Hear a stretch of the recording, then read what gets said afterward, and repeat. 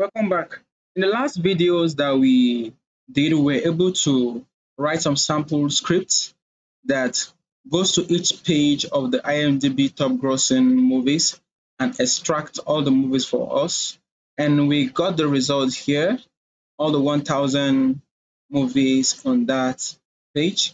So what we would like to do now is to, for, to, for every movie there, we want to be able to click on the URL for the movie and extract some basic information from it. We want to extract some information, maybe the duration, maybe the hours. I think what we'll focus on today is extracting the cast and crew. So um, for this, we have the filmmakers, and then we have the role they played in that movie, and then we have the cast and the role they also played in that movie. In the previous video, we've created the movie item, but this time around, we want to extract like the cast and crew item. So let's define the classes that will take care of that, the classes that will be responsible for validating that data for us. So this time around, we want to uh, create the crew item, crew item, base model. We imported base model from Pydantic, don't forget. So for the crew, we want the crew ID. Each member will have an ID and each member we have a name and each member we also have like a role. That is the role they played in that movie, just like we saw just now. Then finally we have a class. The class will be for the cast. So we'll call this cast item base model. Cast will have a cast ID, and every cast person will have a name, and every cast member will have a role they played in that movie. So for each movie, when we extract all of this information, we want to put it together in one place such that we have the information for one movie in a single place. It makes our job a lot easier and keep things in order for us. We can access the data in a more structured format. So to do that, we'll just de um, define another class. Class, let's define a new item. Class, we'll call it movie details. This is going to inherit from the base model. And this time around, each movie is going to have an ID. And each um, movie will have a basic information. Now for the mo movie information, we're going to get that from the movie item. So we're putting everything together here. So this is going to be movie item. So all the items we're extracting, for example, the whole item here, this row, for example, want to store it in movie information to keep our data ordered and structured. From here, we can go to the next thing will be crew. For that movie, we want to know the crew, everyone that, that is member of the crew for that particular movie. So we use a crew item that we've defined earlier. And up next, we want the cast such that for each movie we get the casts. And now for each movie, we can get the idea of the movie, we can get other information like the rank, the year, everything about that movie. We get the people who featured as part of the crew, and then we'll get everyone who featured as part of the cast team. Then we want to clearly state that this is going to be a list because we can have multiple members as part of the casting. So this is going to be a list and this is also going to be a list. Multiple crew members, we have multiple cast members. Let's save our changes. So with this done, what we have to do now is go back to the top grossing movies file and import these new items that we have defined. So we're going to import the crew item and the cast item, and finally the movie details item. So these are all the items that we have defined in our code. We use this to structure what we need to extract next from the website.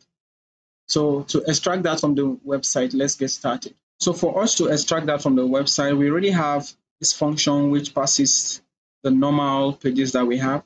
But now we need new function that extracts information from each page. So if this is parse, we're going to define the next function parse movie page. So let's define this. We call it parse movie page. So we have this function that parses the movie page. Uh, this will be self.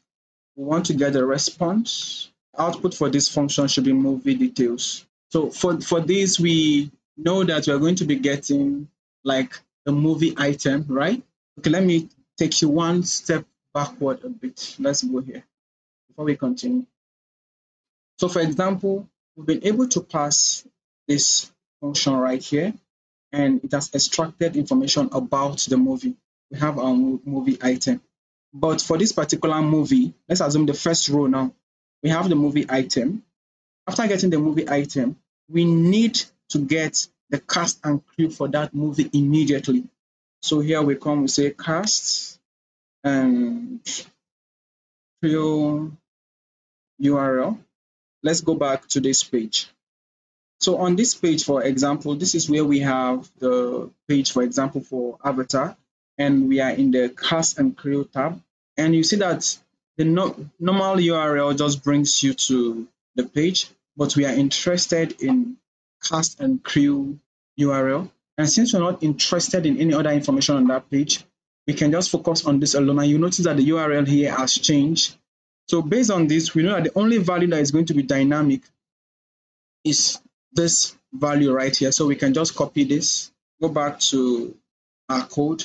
And what we will do here is to paste this right here. And then we say this is out. And we can now the title is fine. We can change the ID. This is the ID of the movie. Remember that we've already extracted the ID of the movie. So we can come here and say, we pass it as a parameter, movie ID. So if we have the movie ID here, it means that this URL will keep changing. For the first movie, we get the URL. For the second movie, we get the ID here. And this value keeps changing and it goes to the cast and crew session. So we want that information. Yield. Yield. So after we say you we say response, follow. Now we're telling, when we say follow, we are saying that you should go, should follow this link and go to the next page. Response, follow. Also follow, we tell it to follow the URL. And what is the URL? That's the cast and crew URL we just defined. Follow URL where the URL is equal to this. And up next, we pass a callback. Now, the callback now is going to be the function that we have we are going to define. Dot parse movie page, which is going to be here, and we say meta. We pass the meta information to the response that it is going to be getting. So we say this is going to be movie.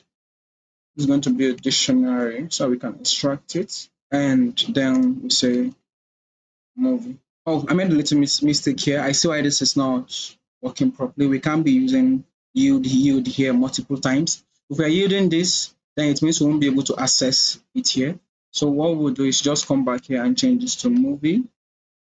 So we store the result here. When we extract the information from the um, from the movie, we save it in a variable called movie. And by the time we want to go to the next page, we want to be able to pass this information that we've saved about the movie, correct? So this is fine. Response, follow, and now we have information about the movie. This looks great, so we can test it out. But before we test it out, let's go back to our function here. So we have this function that we're defining that goes to the next page, and we want that function to extract information about the movie. And for starters, we want to get the information of the movie. Remember, we've already extracted information from the first page. So what we can do is to just say movie is equal to, remember we have the information from the other page. And now the metadata that we passed to that response in the other um, the other instance, we can now get it from here. So the information was extracted from the first page is now available for, to us, even though now we are getting the response from the second page. And if you want to make this interesting, you can just put a type hint so that anyone using this will know that this is a movie item. So that's one. And up next, we want to extract the crew information. So let me terminal. So we have this right here, and now we can start trying out some things. Let's go back to this page. This is where we have the entire information. We can pass this. Don't forget we have the, the, selector gadget that will help us extract the information that we need. Shell, we want to get information from this URL. Okay, we have a little problem. Cast item, we have some error with the cast item. I think I see why we have an error here. So all I have to do is go back and check. Turns out I said cast ID is equal to ID, which is wrong. So cast ID is supposed to be str, a string. Let me be sure I've not made the same mistake anywhere else. This looks fine. So let's try running this one more time. We're able to get the information and the response from the website now. So now we've been able to scrape the information from this page. Now, let's try and get the information that we need one step at a time, right? Do first of all is to get all the information we need to get about them. So we can exclude this. So we have real, and then yes, we want to get like, let me see, let's check what this looks like. Table data, let's see, does it have a table row? Okay, it also has a table row, that's interesting. So let's copy this. Let's go to VS Code and let's use that to try things out. So what we want to do here is to say um, response, response.css. We would want to get this. So we want to get, let me see, dot get, let's see what it looks like. Okay, let's use extract. CSS selector has no attribute extract. That's well, it has an active called extract. So the headers is part of what we got. Okay, we also have the option for this class. Interesting. So we can actually get this class if we want to. I think we should try out that class and see what it looks like. So if I should go back here, let me see, let me use a table data instead. I'm using the table data instead, and I want to use this a normal link. I want to paste it here. I'm doing this since it's a step ahead. I want to use this dot and let's see what this result looks like. Um, it looks a bit different from what we have initially. Let's format the result so that the result will look like text. And I think that requires to use extract now. Dot extract. Oh, that works fine. So now we able to get the data using the 3D. Then we use the link element on their profiles to just get their names. We can just confirm that. So we see James Cameron, this Cameron, Carter, we see Robert Stromberg. So this this seems like we've gotten it right and we don't have to stress anymore. We can just copy this. This will, this would just give us the list of all the crew. Let's go back to our function here. So we have movie item, and now we want to get the crew right. So we just say crew name, crew name is equal to this time around we use this. No, not this. Copy that, paste. So this will give us response.css. When we do this, it extracts the name of all the crew for us. That's simply straight and forward. Row equal to um, none for now. Row. Then we also need the crew ID. ID. You can say this is equal to none for now. So what we need to do now is to check this out. So let's go back to that page. So we've been able to use that normal link to get the, what's it called? The row. And now we, well, to get their names, now we need to get this. So let's try clicking on this. Let me see. I don't want this.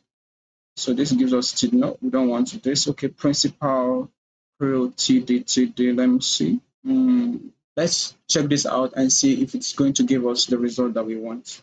So we use response. Yeah, this is close, but this time around we have something else to use inside here. Paste it, and we want to get the result as text. Turns out that this is very fast and it has given us the result that we want to see.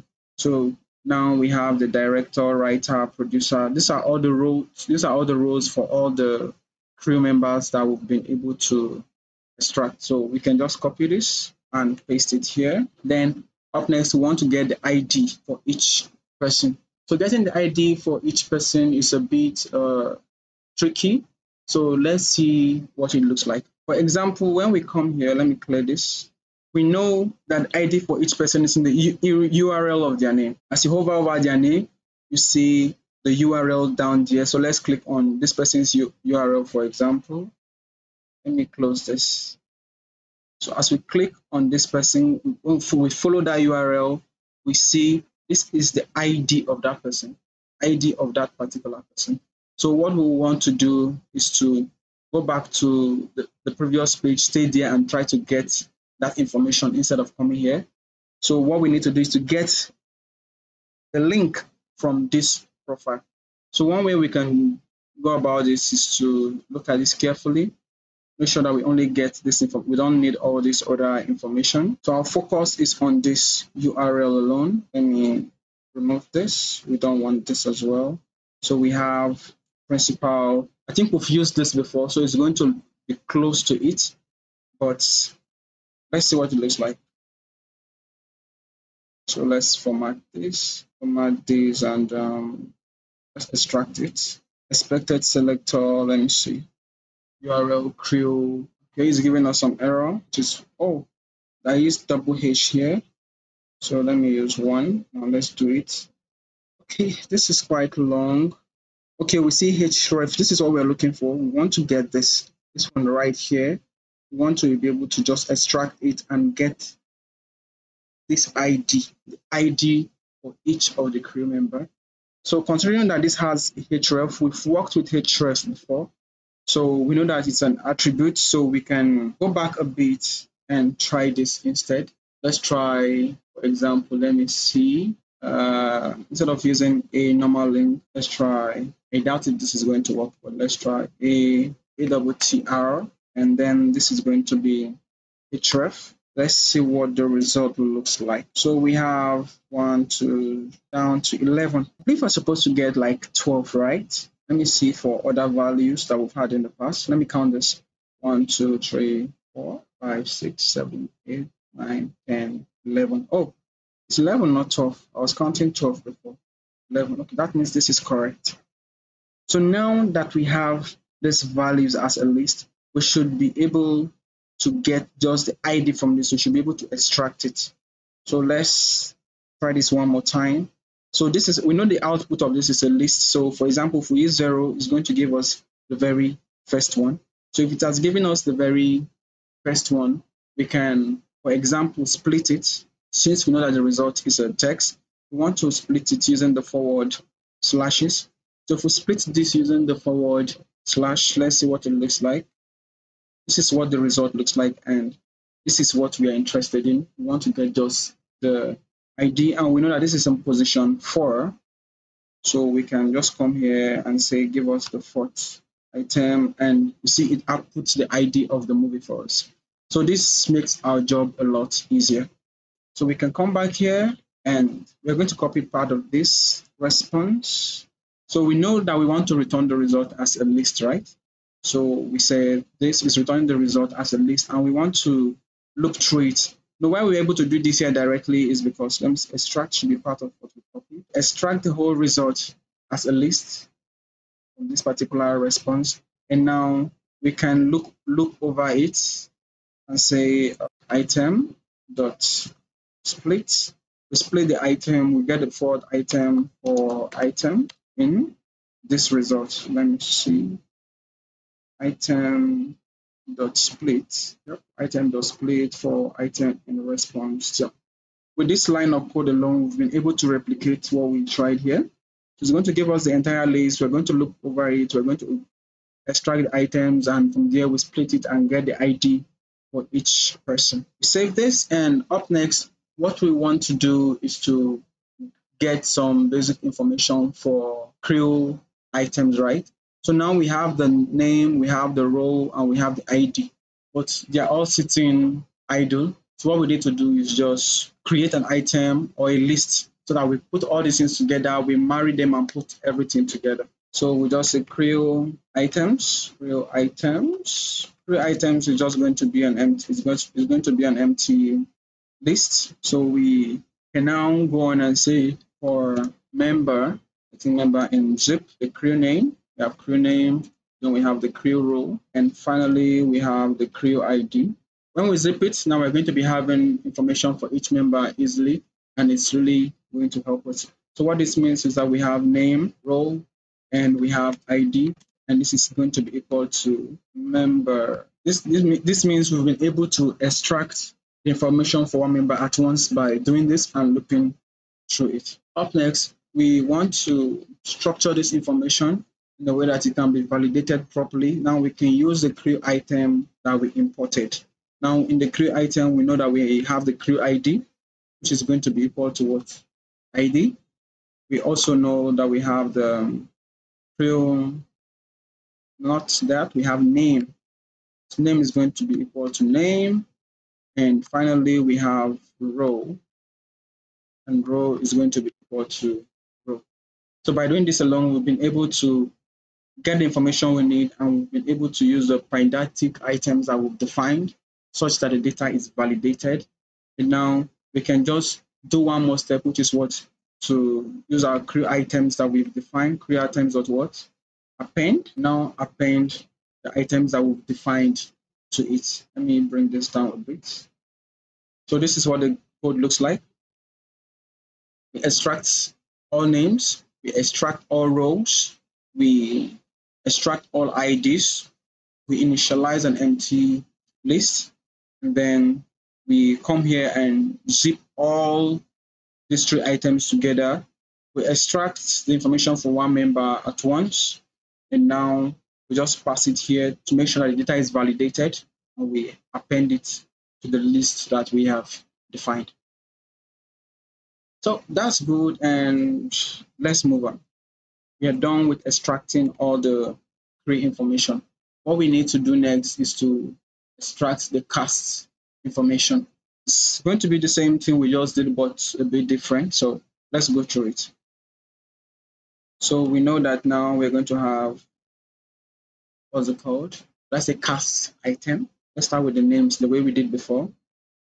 So let's do cast name is equal to but now we don't know, so let's try it.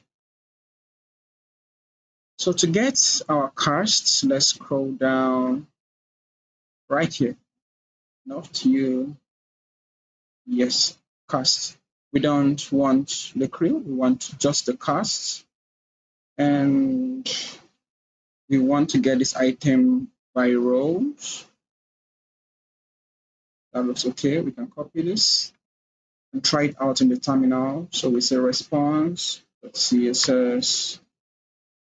And now we want to get this, close and extract. I'm not sure this is, let me see, zero text. And we want to extract all that information.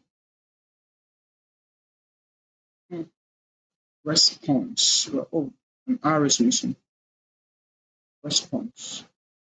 Oh, this returns an empty list. So what are we doing wrong? Let me see. Oh, I think the previous step we use a, let me just say two, or let's see what it looks like. So this is what it looks like. I think in the previous step, let me see what we use for the previous step. This right here, let's copy it. It should be the same with this. So let's scroll down a bit. And this time around, I'm going to use this right here. Yeah, and it gives us what we want. So we just go to where we have the links because each person's name has a link. We get to just go to that position and instead of going with the link, we just go with the text. So this gives us all the names for our cast, correct? And up next, we want to know their role. Cast role is equal to. So we do the same thing go back here and let me see. Now we focus on the part that had text just now. Let's focus on this part that doesn't have text. So we can't use zero. Let me see. Let me clear the whole of this. Want to get this. Let's copy. Then go back here. But this time around, let's try and do this instead this is what the content looks like. So we have Jake Sully, Dr. Grace, children. Let's confirm. Okay, Jake, that's correct. That works fine. So what we need to do is to return the result as text. And we have all of our rows. So now we have the rows. And finally, we need a cast ID. And leave it as none for now. I think we can use some idea from here. Let's try this out one more time. But this time around, we don't want to format it as text. We want to use the idea we used here. Where, where is it again? Let's give it a shot. Okay, now we have this right here.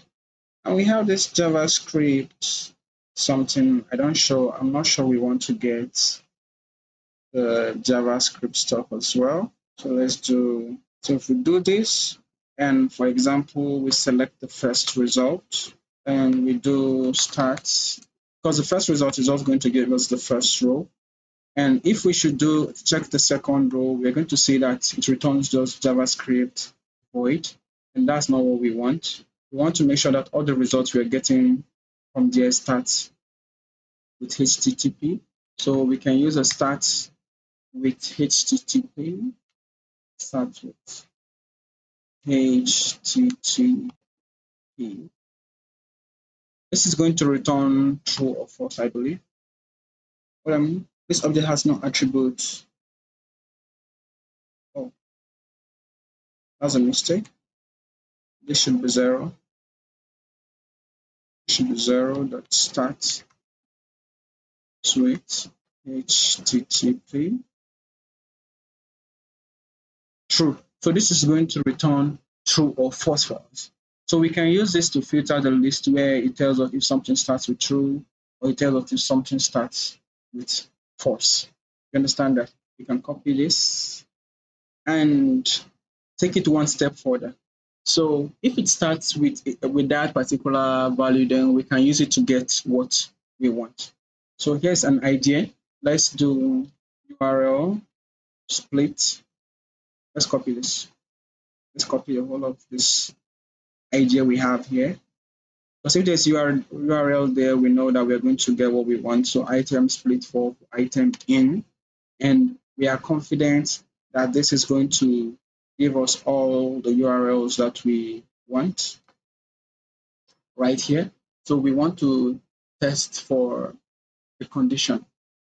So how do we do that? We want to extract if the item exactly extract this and now we want to apply condition if the item dot copy this part that we have right here starts with starts if it starts with http we should be able to extract the url from it. And i think we'll close our brackets and we see it right here. This is the result. Now we've been able to get the id of each person. So i can just copy this and paste it here and close the bracket. So for each cast item in respawn cast, we want to extract. If it starts with HTTP, that's what we want. But if it doesn't, we want we don't want that. So that's taking care of that for us. We can now replicate the same procedure we did earlier, which is to zip everything together. So we say for member and zip this time around, we say cast item, cast name, cast role, and finally cast ID. So we have all the three zipped. Now we know that name, role, and ID is equal to member. We unpack this. After unpacking it, we can now say cast is equal to cast. We refer to the cast um, item that we imported. So this helps us to validate our data. So we can now say ID. It's not ID. Yeah, it's cast ID, I believe. Cast ID is equal to ID. We know that name is equal to name. And finally, row is equal to row. That's great. Then we can, oh, forgot to define our item here. So we now say cast items, cast items. We know that this is a list. So we can come back here and say cast items dot append. We want to append this class that we have defined here. So based on what we've done so far, we have the movie item. That's the movie item we appended to this. So we have it here now. That's great. We now have our cast. That's good. We also now have, um, so that's a cast, that's our crew. And now we have our cast. Then we need to put all these things together to represent just one movie. So let's do that. So to do that, all we need to do is to just define the to yield the movie items. So how do we do that? We come here and say yield movie details. So now we can put everything together. So we know the ID of the movie is equal to what? Movie. Remember we extracted movie earlier. Movie dot what? ID. Movie has an ID property, which is a string, right? And up next, we also know that we can extract the information about the movie. Now the information about the movie is just the movie, nothing else. So that's fine. Then up next, we want to get the crew for this particular movie. That's why we have our crew items. And we have our crew items right here. And up next, we want to get the cast for this movie. Getting the cast for this movie is um okay. We have our cast items. This gives us our cast items, and that's it. And before we test this out, we're going to do one more thing. We're just going to put a little settings at the top here that tells this how you should export the data. You know, initially when we ran it last time, we were saying, okay, do this. We want you to export the data in a particular format. Now we'll just tell it to, we want to do a custom settings. So I already have the custom settings defined here. So we can just come here and say, just come to the top here and paste it right here. So this is what the custom settings is saying. So when we run this now, we no longer want to specify and say export to JSON or anything. We have it defined here to understand what we should do with it. So we for the feeds we said export to this particular folder. That's data.topgrossingmovies.com. I want to make sure I have that folder here. I don't have that folder, so I can define it a new folder data. So all exports will go to data, unlike the way it will come here before. Then the format is JSON. Then this encoding is to format our data, store empty false, fields none, and then we don't want to define fields. We want identity so that it looks good. You're going to see the difference considering that we have this one before right here. This is what this one looks like. So by the time we run that and it outputs the data, you would see what that looks like as well. So my expectation is that everything is fine. So we can just go back here, come to the terminal, and let's exit this. we can quit this, I believe. Quit, yes. So we have left the terminal. Now we can try running the command that we would normally run to extract the data that we want to scrape.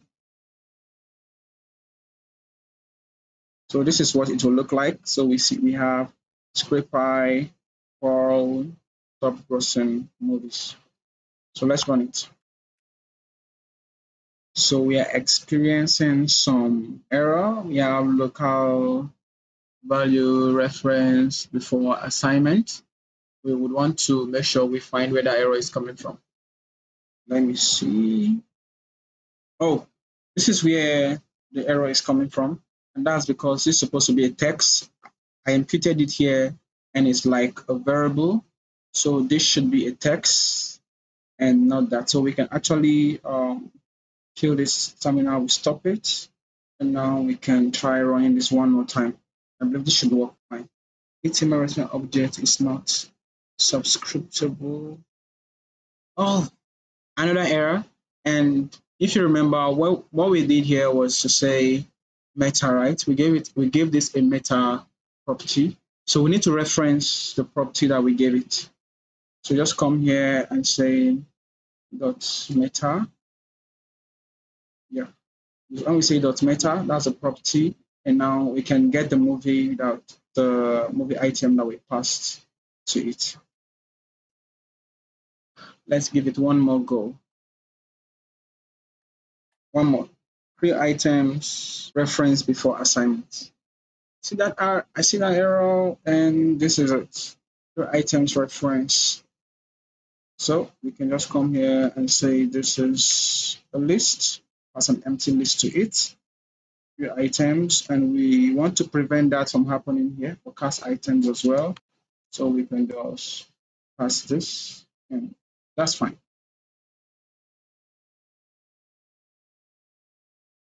This is running fine, no more errors. Our spider has finished running. So our, expect, our expectation is that it should have scraped all the data. We don't have any error. Everything runs, successfully. You see all the outputs here.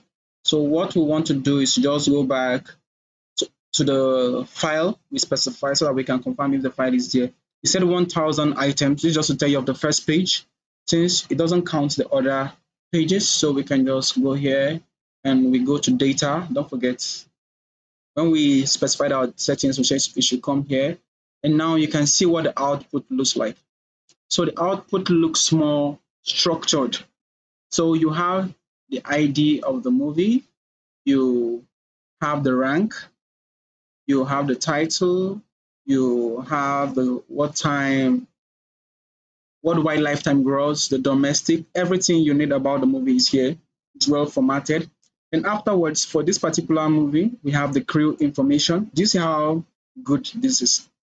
We have the crew information, and for each crew, you get the ID and information about them. And this is why I like using uh, Pydantic objects because it validates the data and makes sure that nothing is null. After getting all the information about the crew, we now see all the information about the cast, and then we go on to the next movie. This continues down to the very last movie that we have. With this, we've been able to extract our data. You can take this data, import it into your BI tool, or you can just save this somewhere on the DB for example and it's clean, neat, and straightforward. With this, you've been able to build a very simple bot that goes to the internet, uh, scrapes the data, and stores it for you in a file. So the code we, we use for this, you're going to find it online. I'm going to paste it on GitHub. I'm going to put a link in the description so that you can easily go there and see what the code looks like. So um, thanks for following to the end of this video. If you want to see more videos like this, you can subscribe to the page, like this video so that they can get to other people. If there are parts of the code that you don't understand, you can just um, put a comment and I'll try to explain them in subsequent videos or I can just reply to your comment. See you in the next video.